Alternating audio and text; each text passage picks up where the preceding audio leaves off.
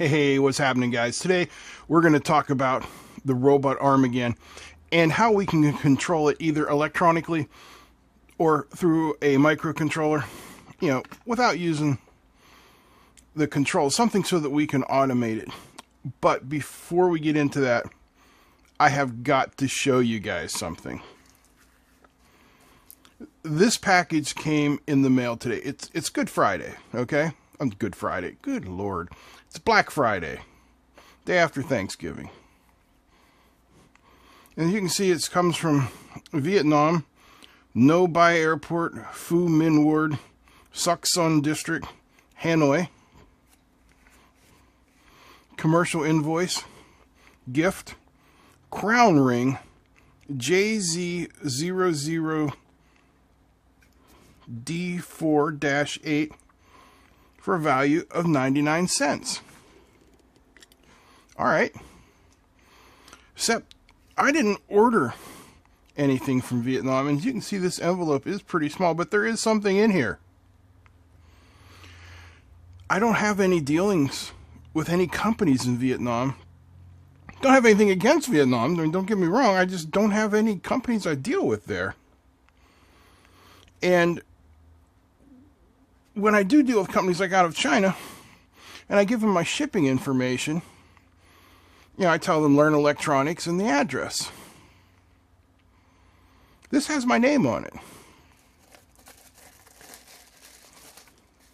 So, are you ready to see what the crown ring is? It is a plastic bead. I'm going to focus. It is a plastic bead with a hole in the middle. I have no earthly idea what this is.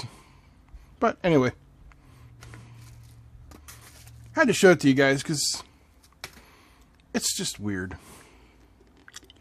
All right, so we have our robot arm here and it has five DC motors. There's one down here in the base to control rotation, one here that controls this arm, one here that controls this arm, one here that moves the claw up and down, and one here that opens and closes the claw.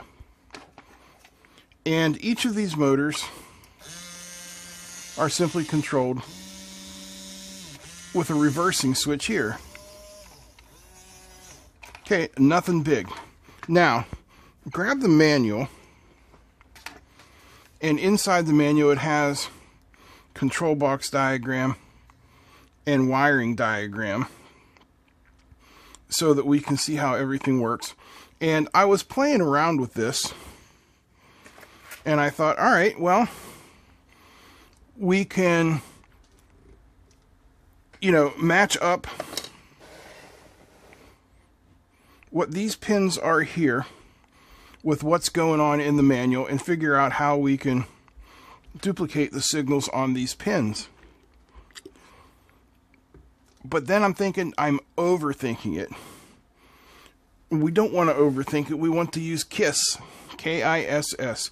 Keep it simple, stupid. So what it's doing, it has four AA batteries in here, AA, D batteries in here 6 volts, but they're split down the middle. So we have three positive and three negative. And what I'm going to do here is I'm going to pull off this wire here. And this controls the rotation. Now, if I hook this wire up to a simple 3 volt source, and we power it up like that and we switch it the polarity that's all there is to it. So we just need to do this five times and we'll be good to go with controlling the robot arm. But how can we do that? How can we do that either electronically or with a microcontroller or a combination of both? I'm going to show you And we're going to use what's called an H bridge. All right, let's do an H bridge here real quick. In the center, we have our motor. And our motor has two conductors coming out of it.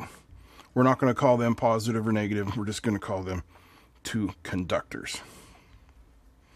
So if we have a rail up here and a rail down here, and in between them,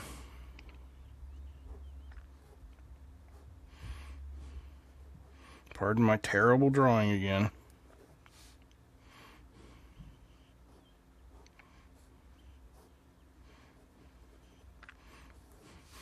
we put a couple of NPN transistors here.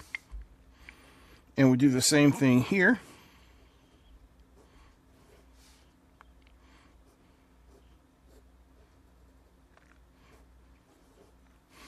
We have your basic H bridge. Now we want to control back EMF. So we'll put some diodes in here as well.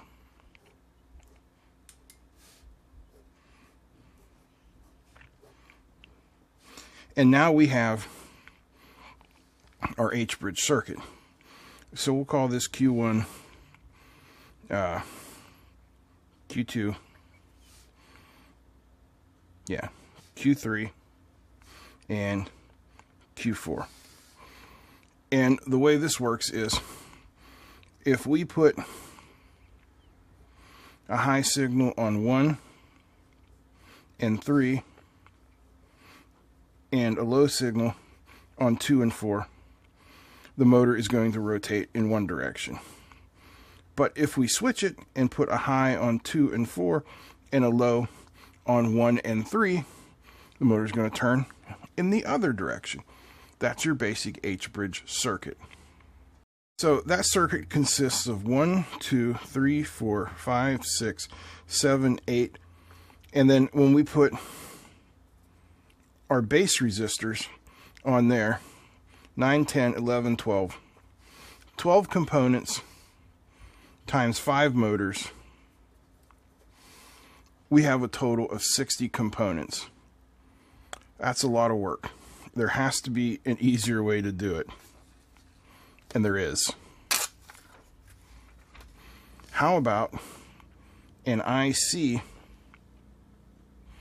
that has not one, but two H bridges built into it?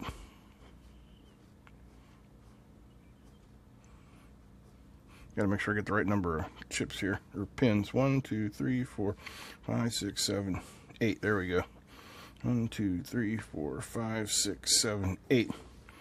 And that IC is called the L293D. And it is a dual H bridge. And all we need to do is use three of these ICs, right? Simple. So let's talk about the pinouts for them. So first of all, imagine this chip split in half. Two separate chips here, okay? So what we have here on pin number one is motor one enable. And then we have in one and out one. The next two pins are ground. Then we have out two and into and over here we have our motor power which we call VS. Now on this other side of the chip we have enable 2 in 3 out 3 we're drawing my grounds upside down. I know that's not correct, but it's just easier for us to see. out 4, in 4, and chip power VSS. So we're going to concentrate on just one motor for today's video. So let's zoom in here a little bit. Now these motors are 3 volt motors, so we're going to use a 3 volt power supply. So we will put 3 volts on the chip power, and we will put 3 volts on the motor power.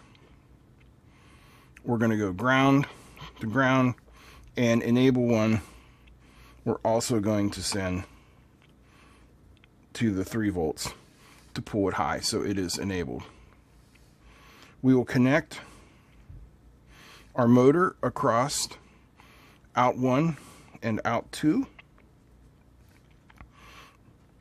and then all we need to do is put our signals on in 1 or in 2 and we'll be able to reverse the direction of the motor. Now I just so happen to have what we need. There's our L293D and it's already wired up just like we talked about here. Let me get it set up with the motor and we'll give it a shot. Everything is wired up just like we had in the diagram. Let me shut this light off here real quick so you can see we are putting 3 volts in. Okay? Now, there is our out 1 and out 2 going to the motor. Our in 1 and our in 2 are right here. And I'm pulling off that rail right here with this wire. So if I connect that wire to in 1,